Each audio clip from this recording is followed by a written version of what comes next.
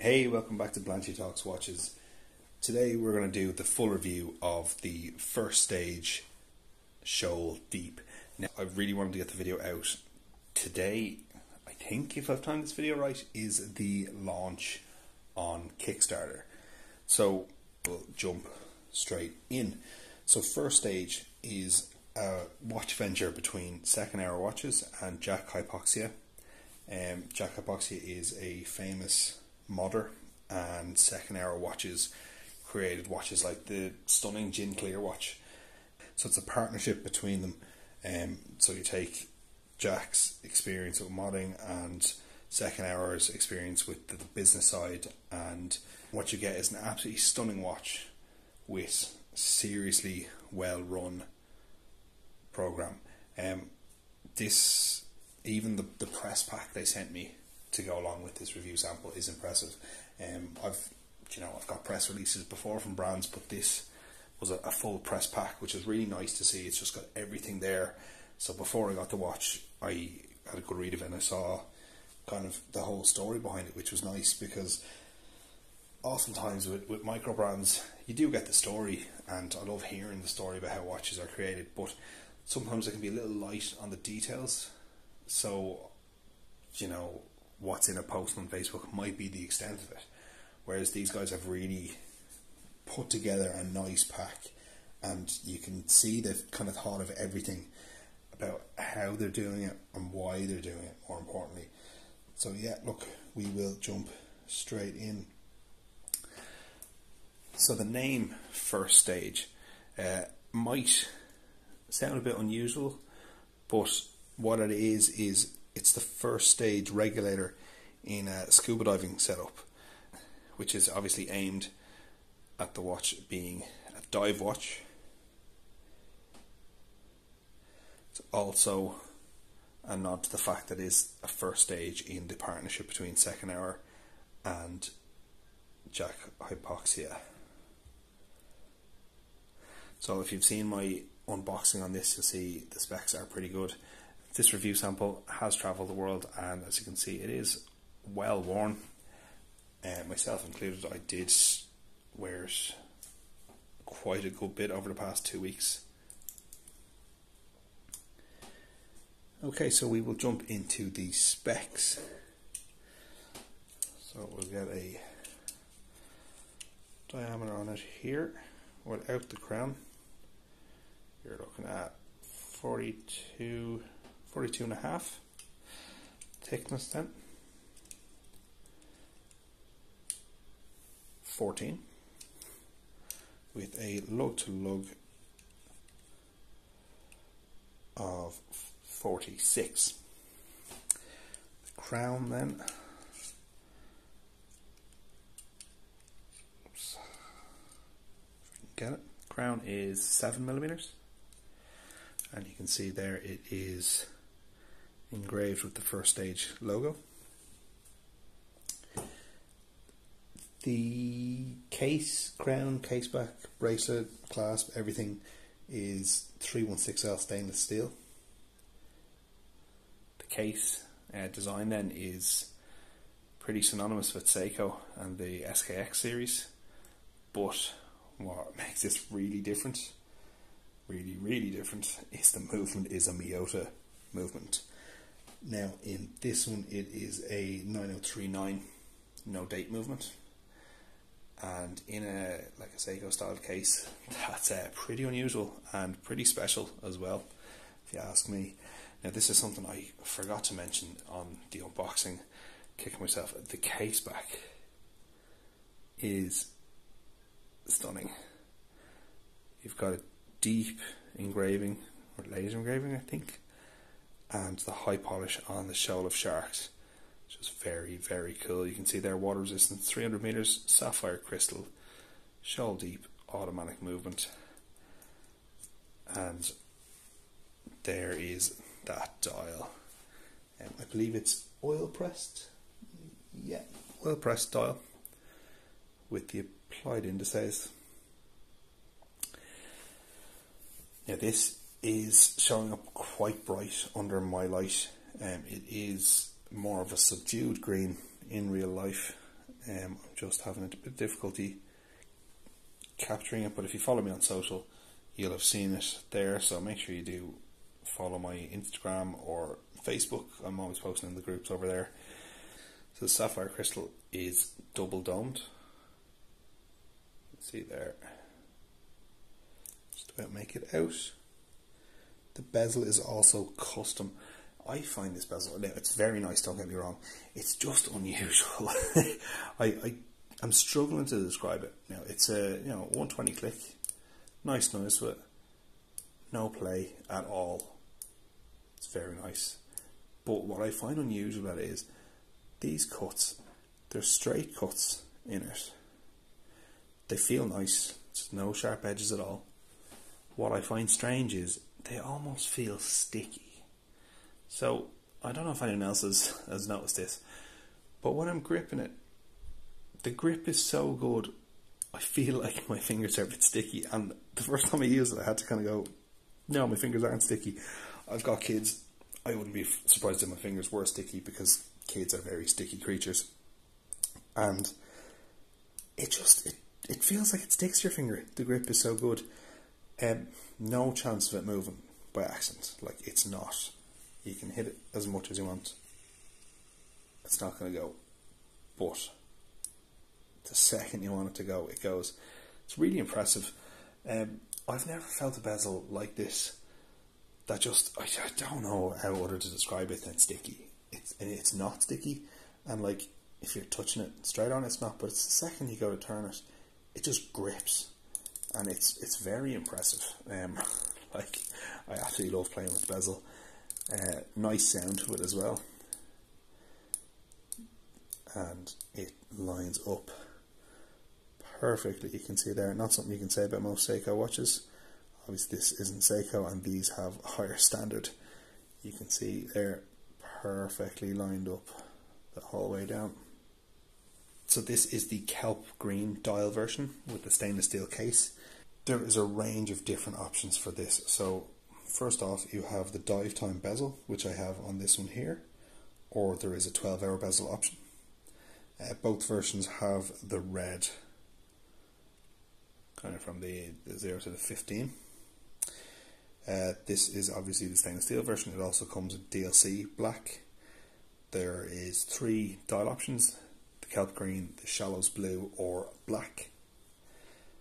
Um, so in terms of combinations wise, there is ten different options you can have uh, between the dials, the DLC, and the different bezels, which is pretty cool to see so many options out there, um, especially for a first model. Um, oftentimes you kind of you get the one or the two colors, and kind of that's it. So to see not only well, the three colours isn't too impressive, but the three colours plus the DLC option plus the option of the bezel is very impressive.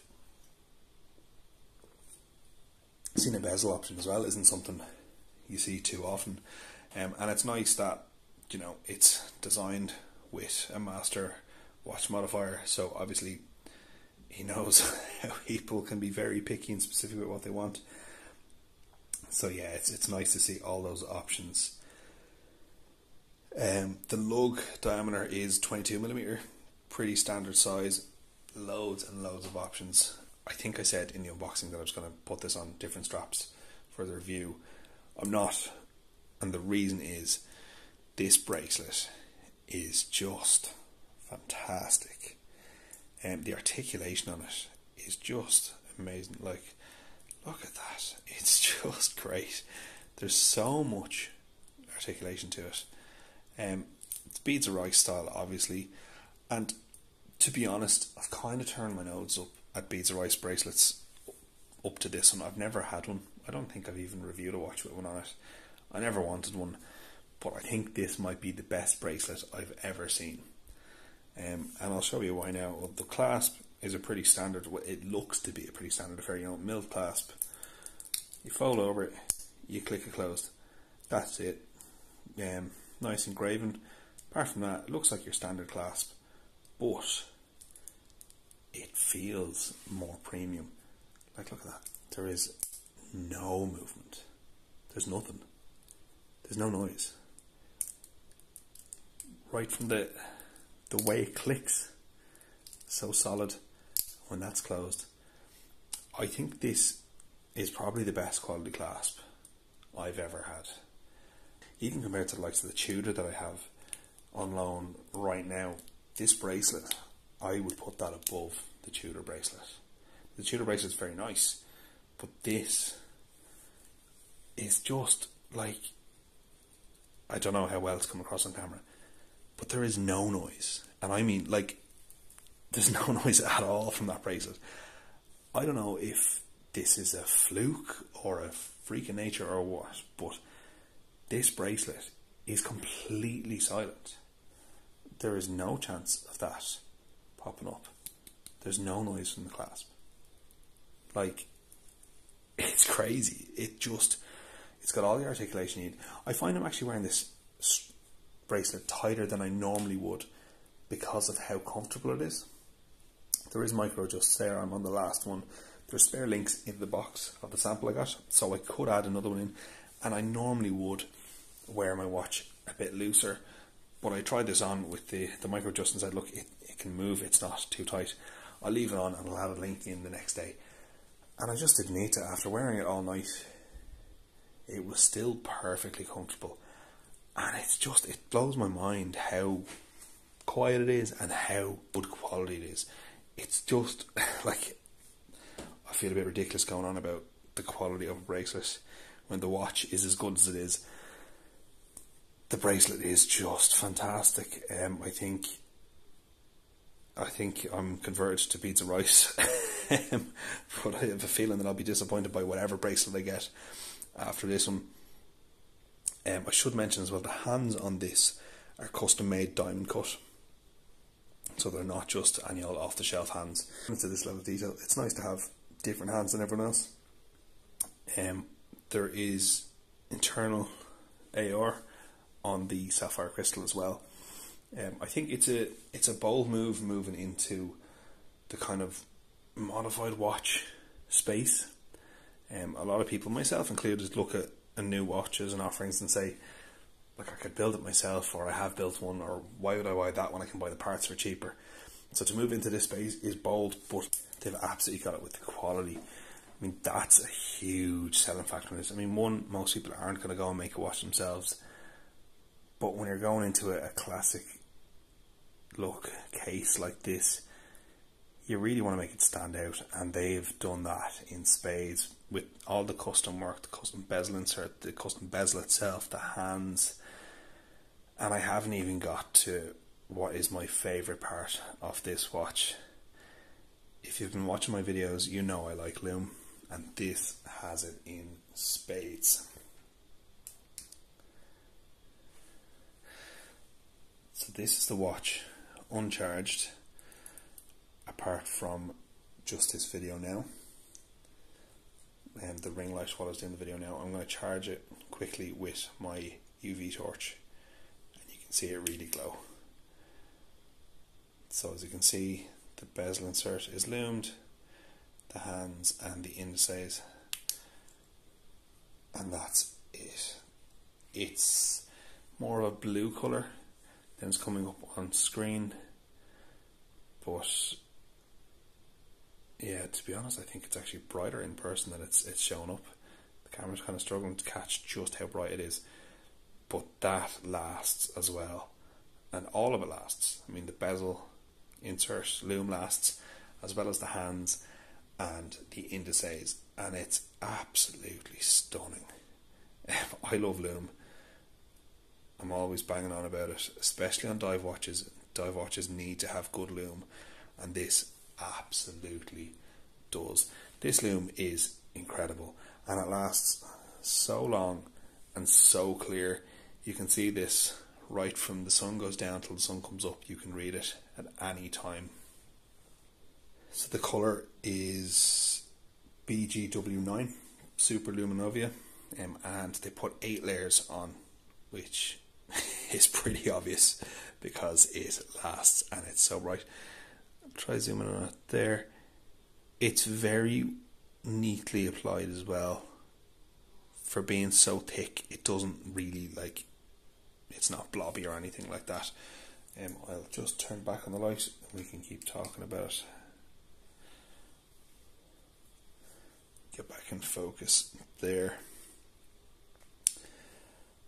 Okay, so as I've shown already on the wrist, seven and a quarter inches, forty-two and a half millimeters, so it's right at my sweet spot, and it fits beautifully. Profile wise, it's not too tall either. Nice thin appearance of the bezel, the slope bezel insert. I really like the way the beads of rice go into the bracelet, the end link, solid end link, and it is just gorgeous. And as I've said before, super, super comfortable. Just wear it non-stop, and I have, to be honest, for the past kind of two weeks, I've really struggled to take this off, and I find I'll, I'll take this off to wear something else, and then put this back on.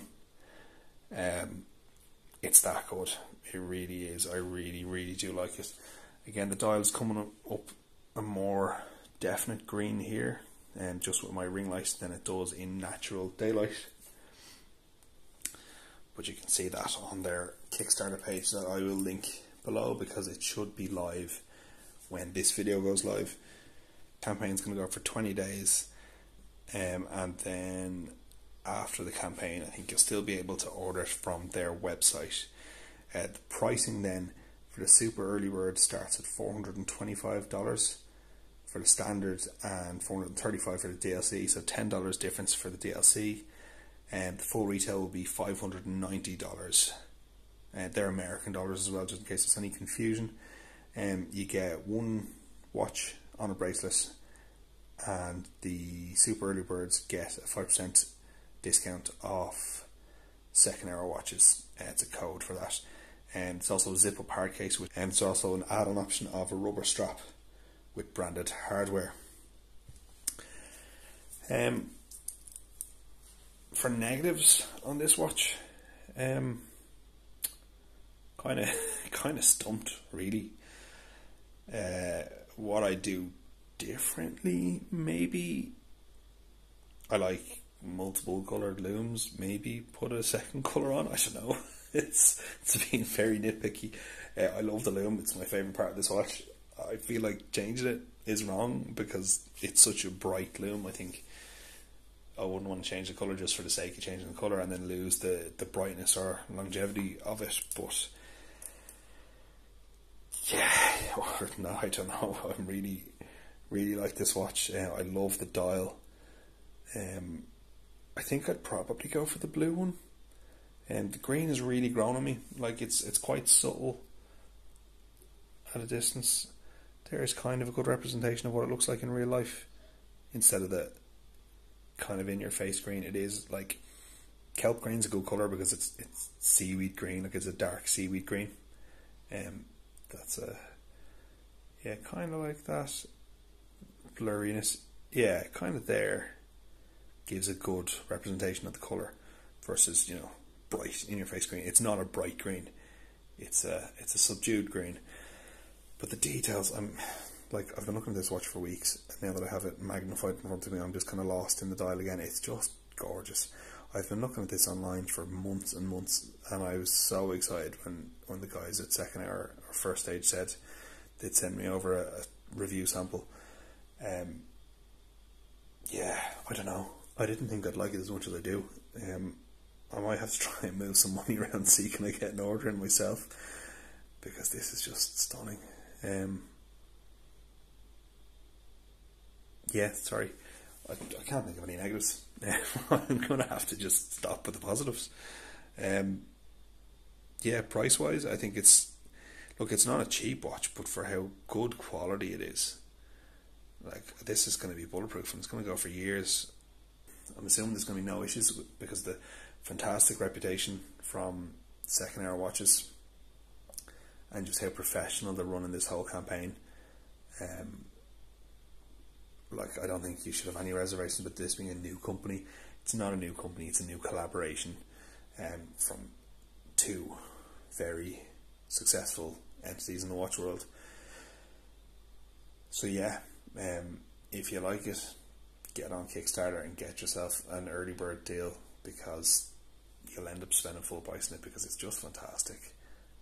And uh, yeah, I'm gonna wear this for another bit before I have to send it back, hopefully, because I really, really do like this watch. Look, I'm gonna leave it there. Huge thanks to the guys at First Stage Watches for letting me review it.